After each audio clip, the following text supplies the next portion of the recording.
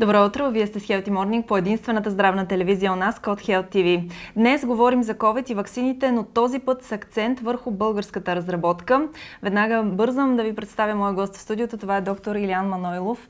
Той е имунолог към Българската академия на науките и участва в екипа за разработка на българския прототип на вакцина в момента. Повече подробности за това ще ни даде. Здравейте, докторе. Добро утро. Как сте? Благодаря, добре. Вие? Кажете ни, аз съм чудесно, особено когато имам възможност да си говорим за това толкова важно стечение на обстоятелствата ли е, ще ни кажете, защото българския прототип на вакцина трябваше да бъде готов до края на миналата година, но все още не е, нали така? Или е готов?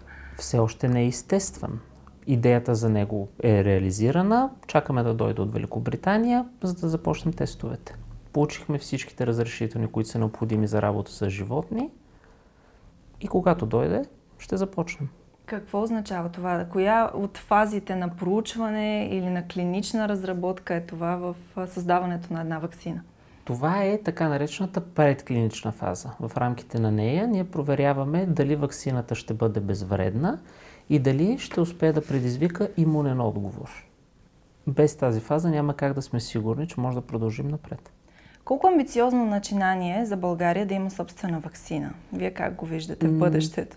Не е толкова амбициозно, тъй като в България се произвеждат вакцини, се произвеждат вакцини още от Втората световна война. Това са вакцини, които ние изнасяме постоянно. Разработването на съвременна вакцина по-скоро е предизвикателство, но пък имаме самочувствието да заявим, че можем да го направим. Защо разработването на съвременна вакцина трябва да е предизвикателство? За нас или по принцип в световен мащаб е предизвикателство? В световен мащаб тези вакцини, които използват в момента, не са се доказали напълно. И всички гледаме с много надежда към тях, защото те могат да променят начина по който става разработването на вакцини. Предизвикателството в България идва от факта, че нямаме толкова много професионалисти, които да могат да го направят. Вие сте много млад все още и работите в екипа към Българската академия на науките, който а, се заел с тази амбициозна задача да разработи вакцина. Колко души сте там? Екипът ни е съставен от около 10 човека, които са на различна възраст. Имаме всичките нива на образователна степен, бакалаври, магистри, докторанти, асистенти, главни асистенти, доценти, професори. Тоест обхващаме абсолютно цялата стълбица на академичното развитие. Възрастта ни не е много висока. По научните критерии ученият става учен някъде около 40 години. Стечение на обстоятелствата е, че просто ние сме по-млади, но това не ни прави по-малко опитни. А със сигурност е така. Ние имаме доверие в това, че българската вакцина ще бъде една от най-ефективните, поне за това сме говорили в това студио с професор Чорбанов, който също е в екипа, доколкото Точно така. Все пак, какви са затрудненията по пътя? Гледах ваши участия, в които говорихте за това, че няма достатъчно финансиране или по-точно няма финансиране от страна на българската държава. Ако трябва да разделя затрудненията, те имат научен характер и бюрократичен характер. Научните затруднения бяха свързани с самата изработка на вакцината, с предизвикателствата, които се, с които се срещнахме защото дизайна, който избрахме на вакцина не беше много популярен и трябваше време чисто стратегически да разберем дали ще свърши работа. Какво означава дизайнът на вакцина? Вакцината ни включва наночастици. Наночастици, в които и около коя, които наночастици ще сложим части от коронавирус, синтетични части от коронавирус. Ние използваме около 13, между 13 и 18 участъка от коронавируса, които не мутират или мутират в много малка степен, за разлика от спайк протеина, който използват за основа на еренковите вакцини и на ретровирусните вакцини. Оказа се, че тези белтъчни части, които използваме ние, са малко трудни за синтезиране. Това беше първата пречка, но успяхме да се справим с нея. Самото правене на нановаксините се оказа не толкова лесно. Кооператорите ни, които ни помогнаха с това, казаха, че изпитват определени затруднения, но вече ги преодоляхме и сме готови. А това, че взимате, сега аз ви питам като журналист, защото не съм лекар, това, че взимате тази част от вируса, която не мутира, означава ли, че той ще бъде по-слабо активен към различните мутации след това на COVID? Ваксините имат за цел да подготвят имунната система на организма при среща с вирус. Тоест, ако ние вземем една малка част от вируса, която мутира изключително много, шанса вакцината да бъде ефикасна е малък. Ако вземем множество части от вируса, които не мутират, т.е. които се запазват в абсолютно всичките вирусни елементи, шанса вакцината да сработи е доста по-голям. А вие казахте, че тези части от вируса, които мутират, се използват за еренковите вакцини. Да, да. Кое, какво означава това, че са по-малко ефективни? все още не можем да кажем дали са напълно ефективни. Имаме информация, че започват да предават вярата на обществото, да го нарека. Различните варианти на коронавирус, които се тиражират последно време, южноафрикански, английски, бразилски и така нататък, притесняват много учените, които разработват тези вакцини. Факт е, че там смяната на участъка, който вкарват в наночастиците, става в рамките на една седмица. Може много лесно да бъде направено. Те за това казаха, че много, много лесно вакцините, да повторим меренковите за момента, които са одобрени и се използват и в България, са тези на Pfizer и на Moderna. Да. Затова казаха, че толкова лесно може да се направи друг вид на вакцината, който да бъде активен и срещу нови мутации. О, да, да. Напълно лесно е, добро е за изпълнение, може да стане в крайна сметка. Технологията не е толкова скъпа, ставайки се по-масова. Да се върнем към българския прототип на вакцина. Какво е другото ви затруднение? Споменахте второто бюрократичното затруднение. В какво се изразява то?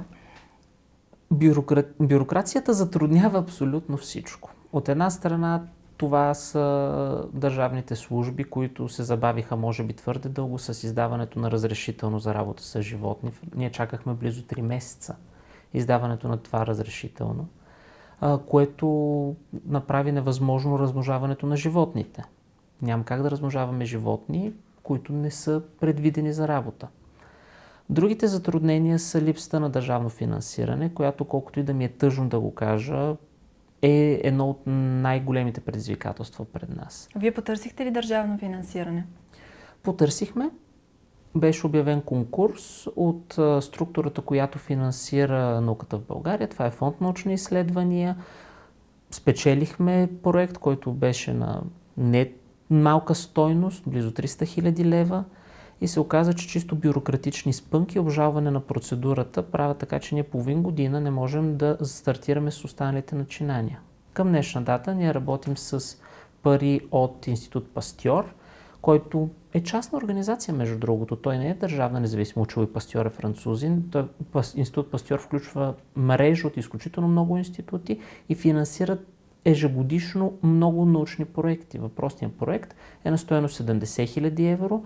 Парите за него дойдоха два месеца след като беше одобрен проекта и работим благодарение на тях. Ще ви стигнат ли тези 70 000 евро за разработката на вакцина?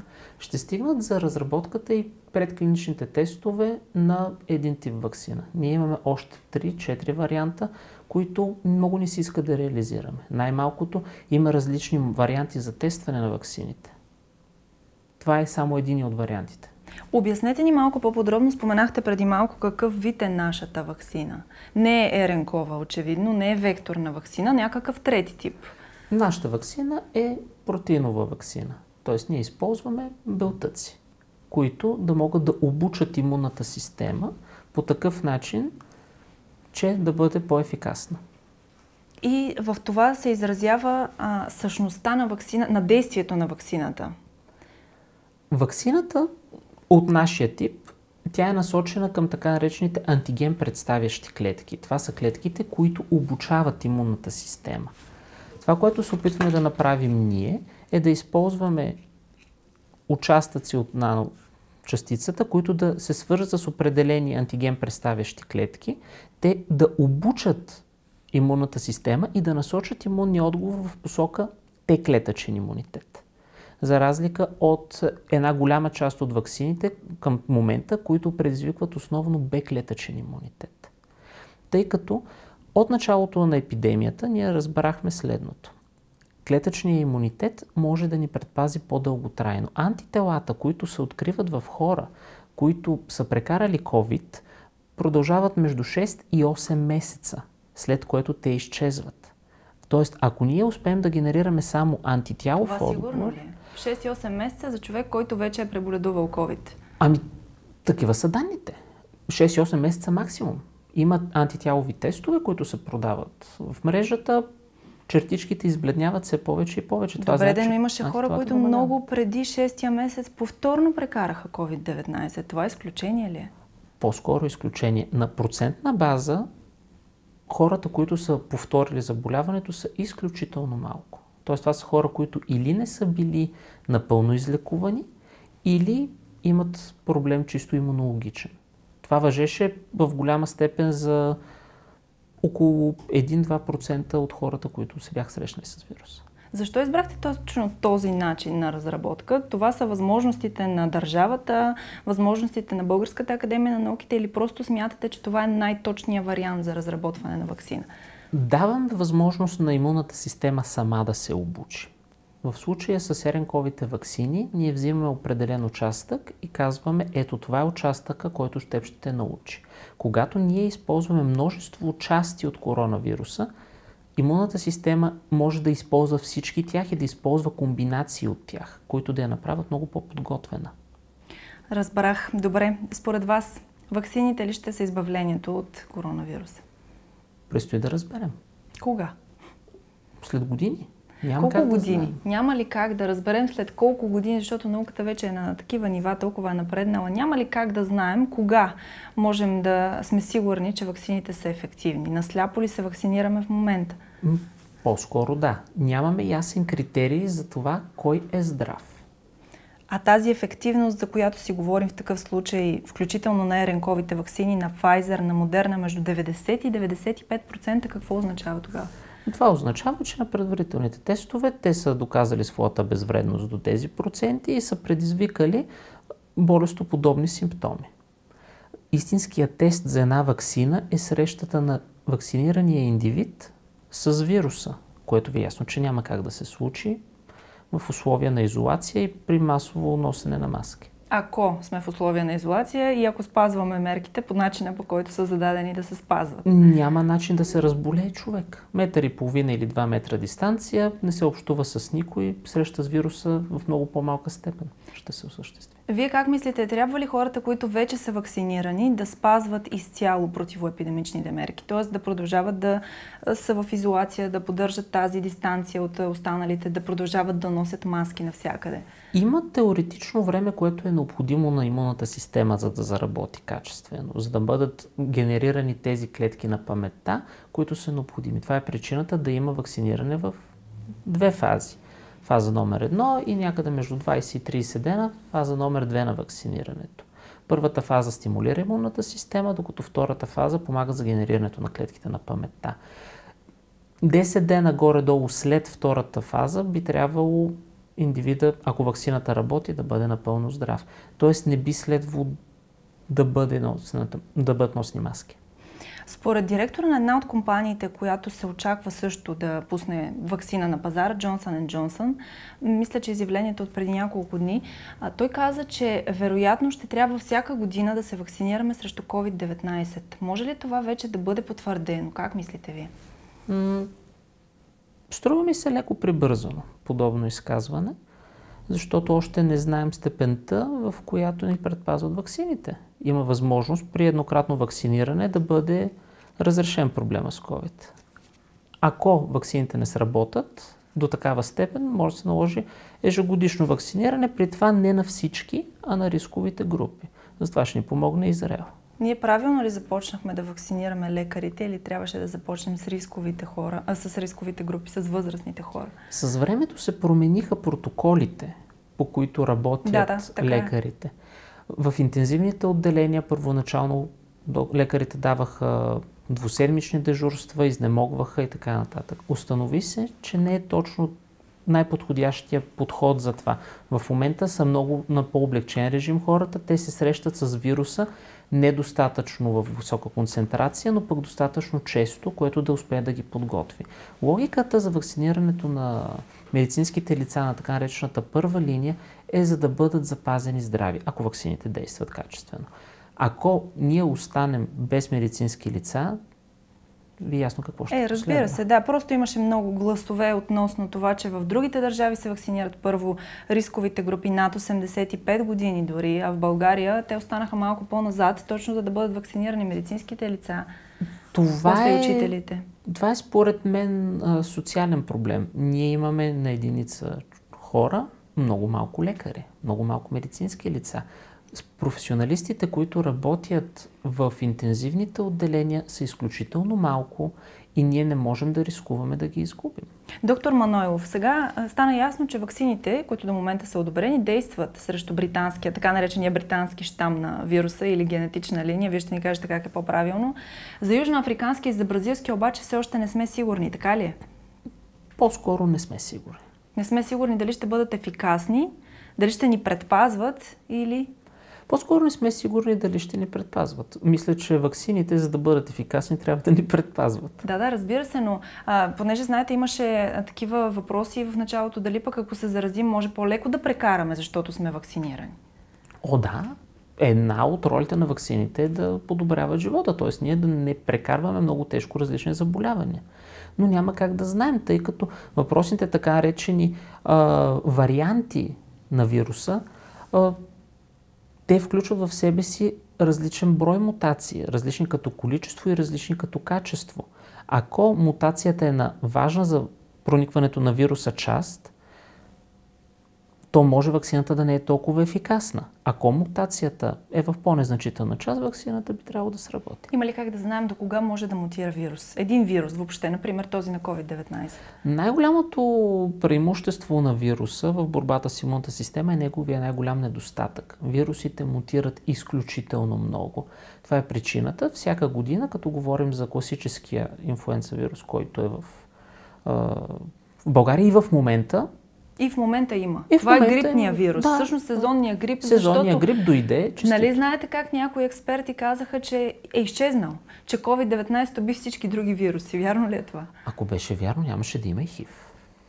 А, да, и тук сте прав. Но поне грипните вируси може ли да ги убие? Не. Не, това става дума за различни видове вируси. Няма как да стане. Та, към мутациите отново може да мутира до безкрайност. Или по какъв начин всъщност може да обезвредим коронавируса? Вирусите обикновено се обезвреждат сами. Те не са живи в класическото живо, което си го представяме ние. Те имат нужда от място, в което да живеят и това място трябва да е живо. В случая това сме ние хората. В Основата на вирусите е, че те преминават от един гостоприемник на друг гостоприемник и така продължават съществуването си. За вируса не е изгодно да го нарека всички да умрем тъй като той ще спре да съществува, ако няма къде да отиде. Поради тази причина той се променя непрекъснато, за да може да заразява повече някой или пък да предизвиква повече болестотворни симптоми. До вас стигна ли вакцината? Някои от вакцините всъщност? Опасявам се, че не. А Би вие треб... бихте ли се вакцинирали? Трябва етап? да бъда достатъчно убеден, че има нужда да се вакцинирам. Защо? Учените сме достатъчно критични към, не само към своята работа, ами и към работата на своите колеги. Е, това не е нихилизъм. Ние не се мъчим да кажем, че нещо не работи. Просто задаваме до някъде основателни въпроси. Аз съм от категорията хора, които попадат в така наречената не толкова рискова група, тъй като съм на достатъчно млада възраст, в достатъчно добро здравословно състояние, имуния ми статус също е достатъчно добър. Вие не бихте се вакцинирали или по-скоро се колебаете, по-скоро защото мислите, че няма да изкарате болестта тежко? Аз не съм сигурен, че, че не съм я изкарал дори. А, не си ли правите тестове? Нали има такива тестове за антитела, които вече навсякъде се продават? Тестовете, за които се продават в мрежата, с което смятат да отбележа, че са с много ниска процент на успеваемост. Защо? Ние всички ги използваме. Всички си ги купуваме вече свободно в аптечната мрежа и им имаме доверие. А по-добре ли се чувствате, като се тествате всеки ден? А, не, аз не се тествам всеки ден, но има и такива хора със сигурност. А, много неприятно за здравословното състояние на обществото се оказа параноята. ние не реагирахме добре като общество.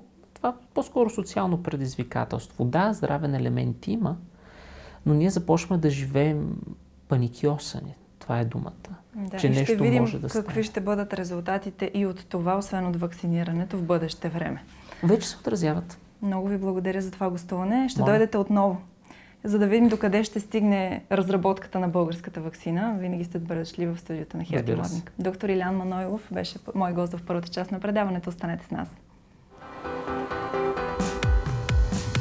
В студиото вече е доктор Християна Бацелова, епидемиолог. Здравейте и добре дошли. Здравейте, благодаря за поканата. Веднага тръгвам към вас с въпрос, който ми провокира предишния ми гост в предаването. Вие имате ли доверие на ваксините? Вярвате ли в тях, тъй като вие бяхте сред първите вакцинирани в Пловдив и поставихте първата вакцина в Пловдив? Да, точно така, с което много се гордея. Наистина това беше исторически момент. Относно вярата, когато кажем вяра, се предполага, че човек се доверява сляпо. Аз не се доверявам сляпо на ваксините, защото просто знам, че те работят, те са ефективни и предпазват човешки животи на базата на науката и доказателствата, които имаме и през годините и на базата на тези сега нови вакцини. Какво означава всъщност ефективността обаче на вакцините? 90-95% на Pfizer и на Moderna много висок процент, а всъщност има съмнение дали това е точно така или е просто предварително проучване. Тези данни, които те изнесаха за тази ефективност, означава, че клиничните изпитвания в техните условия, в които са били провеждани, доказват, че в съответната популация с 95% намаляват случаите на COVID-19. Тоест, ако ги отнесем към обществото, ако си представим едно общество, а, с 100 човека. Ако вакцинираме с необходимия брой вакцини, ще намалее с 95% броя на новозаразените с COVID-19, което е един изключително добър процент на базата на тези така разработени вакцини. А не това, че на 95% можем да сме сигурни, че няма да се заразим с COVID-19, ако си поставим тяхната вакцина. Точно така. Това е една грешна интерпретация. Това не означава, че 95% сме защитени, а 5% не сме. Това означава, че 95% ще намалят случаите на COVID-19 и тези, които не могат да се заразят, всъщност ще са в тези 95% предварителния разговор, вие ми казахте, че сте си поставили вакцината на Pfizer, защото просто тя беше първата, която пристигна в България, но вие бихте си поставили всяка от тях, която и да беше. Само, че на AstraZeneca ефективността е доста по-ниска. Да, оказа се, че ефективността е към 80%, което също 80 не... Е- или 60%? А, при техните първоначални данни казаха 80%, да. така беше изнесено. Сега а, има публикации, според които към 60% ефективността. Все още чакаме и едни данни от САЩ, които да покажат колко е ефективна и над 65 годишна възраст. Според мен ще се окаже ефективна. И СЗО тези дни излезе с официално становище, че, тях, че вакцината на AstraZeneca може да се прилага на всички над 18 годишна възраст. Дори да е ефективност към 70-80%, това също е една добра ефективност. Това не означава, че човек е предпазен само 70-80%, а в другите Или 60%. Да, да. Аз пак питам за тези да. 59,5%, за които последно чухме. Световната здравна организация каза да се поставя вакцината на AstraZeneca, но доста държави вече забраниха това. Над, няма да я поставят за момента на хора над 55, съответно 65 годишна възраст. Специално с думата забрана малко се спекулира, не че са забранили категорично, просто искат да разполагат с повече данни от клинични изпитвания за лица над, 60, над 55, даже по-скоро годишна възраст. Тъй като обикновено тези а, групи лица, най-вече тези над 75 и вече и над 85, могат по... А, така недобре да реагират на една вакцина, в смисъл не, че тя ще им навреди, напротив, може да не доведе до имунен отговор поради особеностите вече на тези възрастни хора. Pfizer и Moderna направиха заявка за разработване на вакцини за деца. Необходимо ли е това? Трябва ли да има вакцина за деца срещу COVID, след като те са по щадена група за момента? Слава Pfizer и Moderna в момента клинично изпитват а, двете си налични информационни РНК вакцини в възрастовата група, а, съответно Pfizer от а, 15 години към 12 годишна възраст, а пък модерна от 18 надолу също до към 12 годишна възраст.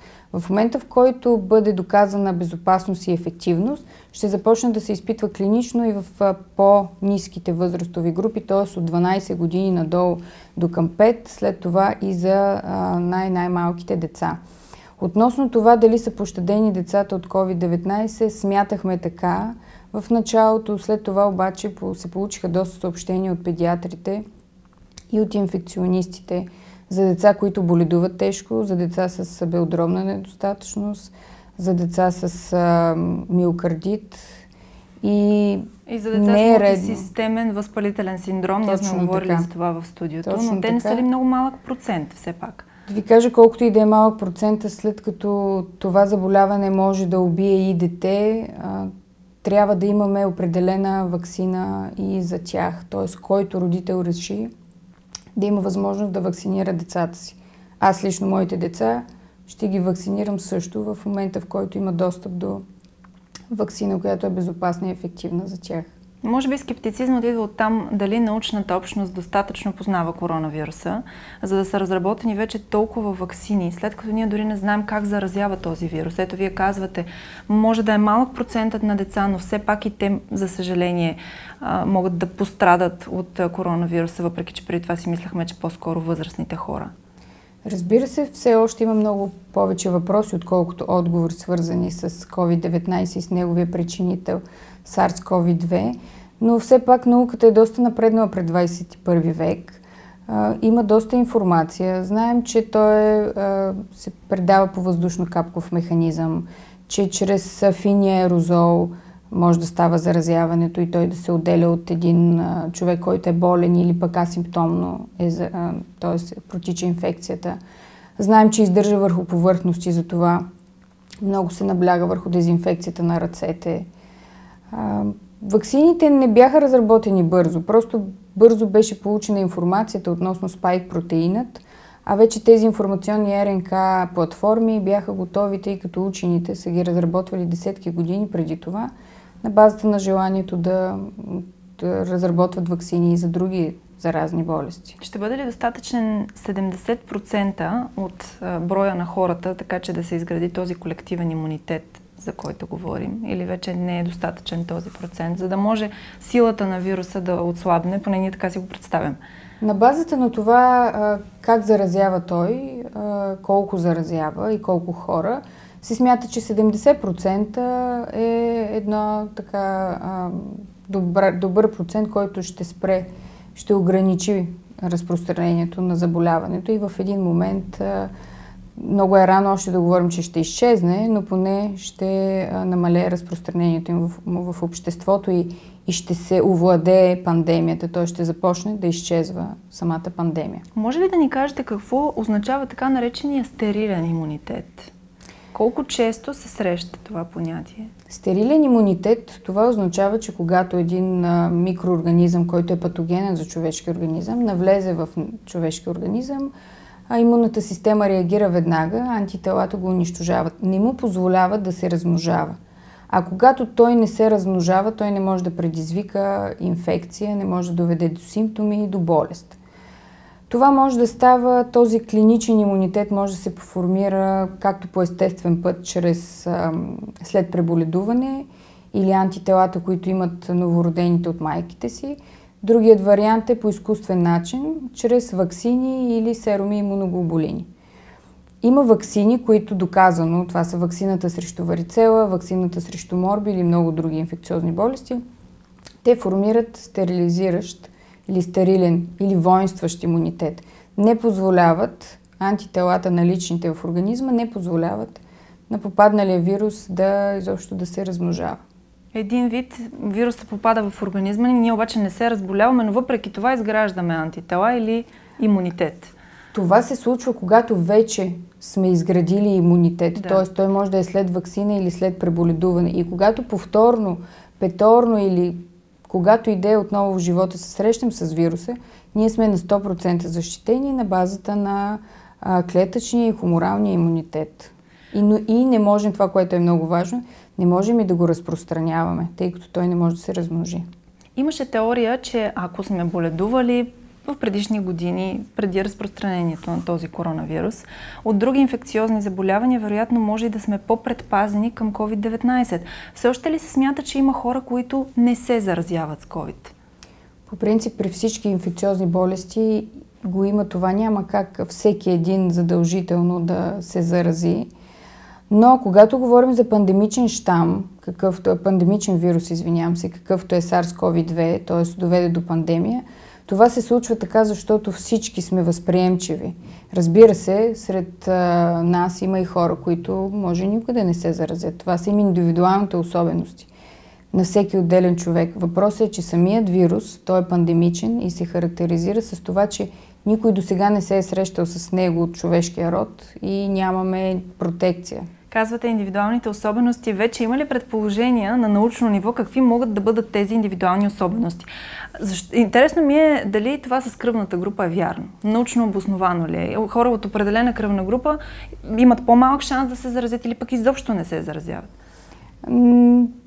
Имаше такива така идеи. Не бих казала, че се е доказал и да се е определил точно в епидемиологията на SARS-CoV-2, че хората с еди какви си, еди коя си кръвна група ще боледуват по-леко или пък няма да се заразят. На този етап всички се водим възприемчиви към а, вирусът. Има ли група хора, които не, не е препоръчително все още да се вакцинират? На базата на това как е регистрирана вакцината, т.е. вакцината на Pfizer се прилага от 16 годишна възраст нагоре, вакцината на Модерна от 18, вакцината на AstraZeneca също от 18 годишна възраст нагоре. Относно трайните противопоказания, това е алергична реакция към някои от съставките. Всички други не са трайни, например повишена температура, данни за остро инфекциозно заболяване, това са временни противопоказания. Когато човек оздравее, може спокойно да бъде вакциниран с а, която и да е от трите вакцини. Бременните жени? Бременните жени на този етап а, не са включени в а, листовката като група, която може да бъде вакцинирана. Въпреки това, на базата на данните, които знаем за клиничните изпитвания върху животните, знаем, че вакцините на Pfizer и на Moderna не са опасни за бременните, не предизвикват проблеми с плода и са реално, както е било доказано при животните, безопасни. Относно хората в Израел и в Штатите вече вакцинират много голям брой бремени жени. Над 100 000 бремени жени има вакцинирани, при които е доказано, че няма нищо, което да се е случило като реакция, която да алармира и да притеснява а, учените. Няма никакви притеснения. В такъв случай в България трябва ли да започнат да се вакцинират и те, разбира се, според а, списъка, естествено, групите, които са наред в момента да се вакцинират? Тези, които са в рискова група, като лекари, като а, сега тези, които ще участват в избирателните комисии, всеки един, който има, всяка една жена, която има желание и бременна, може да бъде вакцинирана. Не е редно да и се отказва да бъде поставена вакцината. И това са такива препоръки на а, CDC, например, т.е. ние не можем да откажем на бременна жена да я вакцинираме.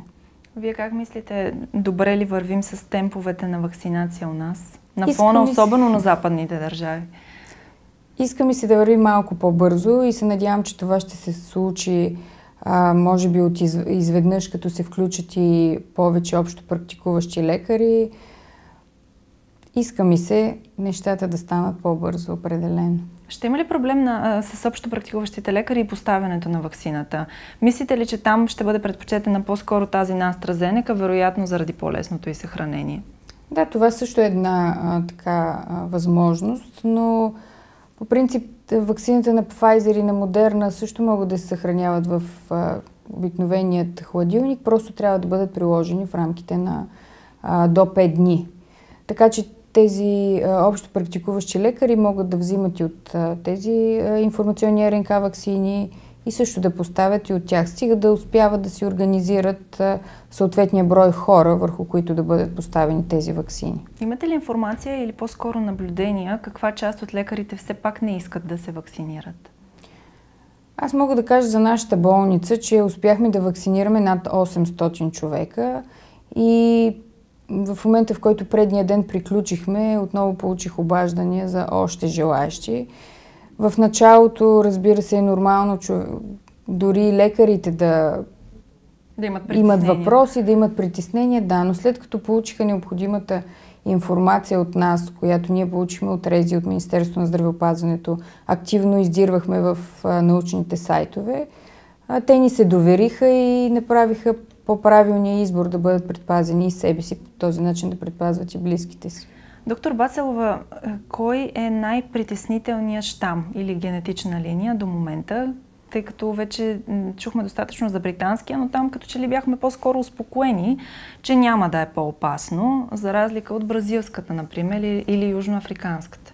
Да, при британския се оказа, че той се, раз, се разпространява по-лесно, по-лесно навлиза в клетките, но въпреки това не води до по-тежко протичане. Сега има притеснения относно бразилският, който и в Япония също е изолиран, за това дали той няма да доведе до по-тежко протичане. Южноафриканският по същият начин. Предстои да се наблюдава. На този етап нямаме категорични данни, че някой от трите води до по-тежко протичане. Но нещо, което е неприятно е, че започват да боледуват по-млади хора. Тоест, и това не е изненадващо и може да се дължи както на тези нови генетични линии, а, така може да се дължи и на факта, че възрастните се изпозаразиха в предходната вълна и сега идва ред на по-младите, за съжаление. И това е нормално в епидемиологията на едно заболяване. Да започне да се прехвърля от една възрастова група на друга, в зависимост от това, кои остават възприемчиви може вече това успокоение да не е валидно, че не, не се предава чак толкова сред по-младите. Ние, за съжаление, виждаме и доста смъртни случаи вече сред по-млади хора. За съжаление, да. В България също има случаи на починали млади хора и разбира се, всеки един човешки живот е а, загубен човешки живот е проблем. Вие като експерт в областта, как мислите, пандемията от коронавирус прилича ли на някоя друга епидемия или пандемия в миналото? В историята на човечеството е имало много епидемии, много тежки пандемии. Това не е една от а, много тежките, въпреки това загинаха страшно много хора. Не е една от много тежки. Не е. Сега, ако го сравняваме с испанския грип, там а, цели квартали са били обезлюдявани, тъй като хората са умирали вследствие на заболяването. Разбира се, разликата между 21 и началото на 20 век е много голяма в сферата на развитието на медицината. В античността имало тежки пандемии, в, през средновековието големите епидемии от чума. Така че човечеството се е сблъсквало и с по-страшни неща но в момента пък ние можем да се борим срещу пандемията с най-модерните средства и това са ваксините. Знаете ли, ваш колега преди време беше на гости в студиото и разказа, че в началото на, на това хилядолетие, през може би 2001-2002 имало епидемия, но тогава значително по-малък брой хора са били засегнати от нея с подобен вирус на този, който върлува в момента. Предполагам, че колегата е имал предвид SARS, ще го да, нареча SARS-1, да. за да Точно не се объркат да, зрителите да. ви.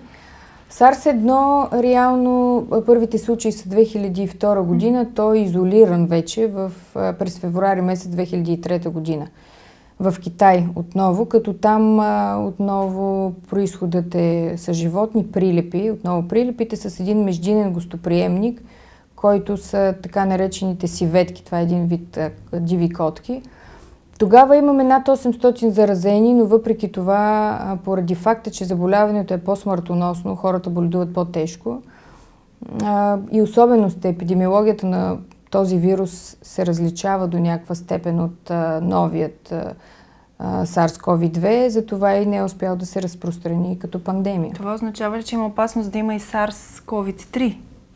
Тоест, в някакъв бъдещ момент да стане още по-опасен този вирус? Възможно е да има нови коронавируси, които да се адаптират към човешкия организъм, т.е. да прискочат между видовата бариера от животно, а, върху човек. Може да не са само коронавируси, може да са други вируси.